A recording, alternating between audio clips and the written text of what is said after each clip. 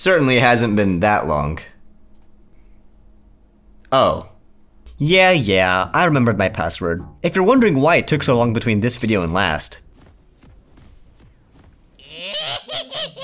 It's just too much fun fading into obscurity. Anyways, I've been working on something during 2022 that I thought was pretty cool. Before I get to that though, here's some context. At the beginning of that year, I made a furry detector on Twitter, where it could detect whether or not a Twitter user was a furry. But one huge misconception I kept on getting was that people thought I was looking at the profile picture. Well, this just isn't true. I used the contents of people's tweets, which meant I could literally tell if someone talked like a furry. But this did get the gears turning in my head. Could I really see if a furry was in an image? I mean, how hard could it really be? Why? I am not a fursuit. This is a fursuit. Th this is this is a fursuit. Why are you detecting me? It's harder than you think. Hi, I'm Zenith. I'm going to make a computer program that finds fursuits in images. To accomplish this, I'm going to be using something called object detection. This is probably something you're already familiar with. You may have seen this whenever you look at a camera and see a box around your face. This tech has existed for a long time, but today I'll be making my own version that can find fursuits. To do this, I'll be using a flavor of machine learning called single shot multibox detection.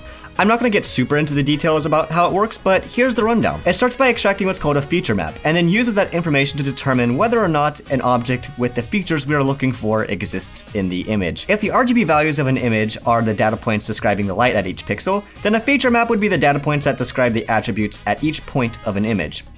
So here, like in this image, here we have a face, and then over here we have some red plastic, and then like right here, wood grain floor. And those are really the features that we care about in this image. There's nothing else weird going on.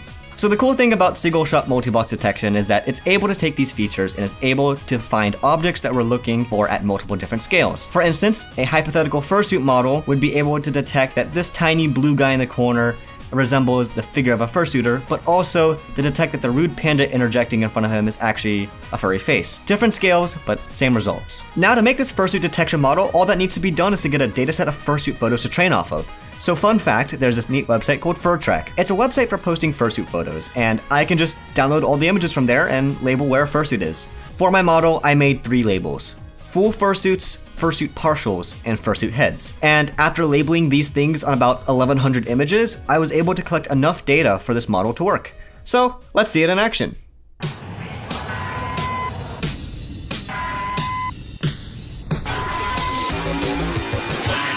Yeah, so this is the part where I say I forgot to record anything for MFF22. Like, I got nothing. Literally, this is the only picture I took at that con. Anyways, in lieu of that, I'm not the only person who went to the convention, so I ended up asking Benji from Benji the Beagle Productions if I could use their MFF22 FurryCon video, and they agreed, so here's their video, but with my fursuit detector overlaid on it.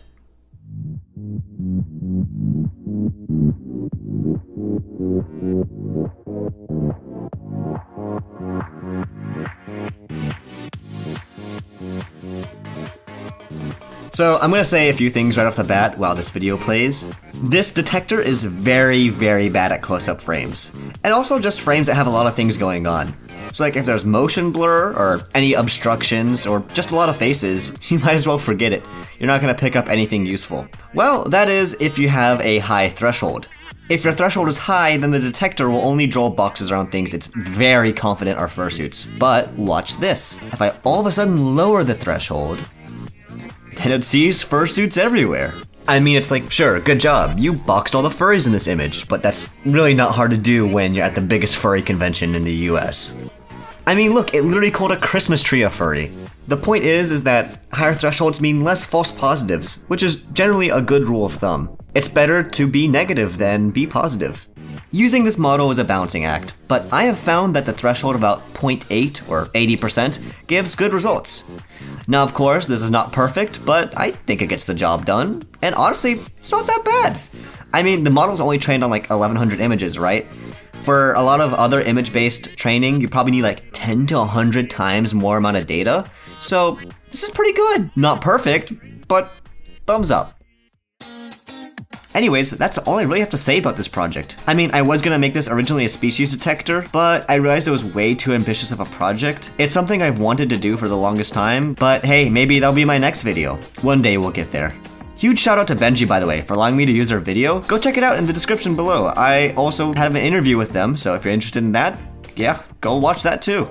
However, if you're interested in using this project yourself, I also have the GitHub link down below. All I'm gonna say though is good luck downloading all the dependencies. It's a pain, and I'm pretty sure I sold my third born child to get this project to work, but I have all the steps there, so go nuts.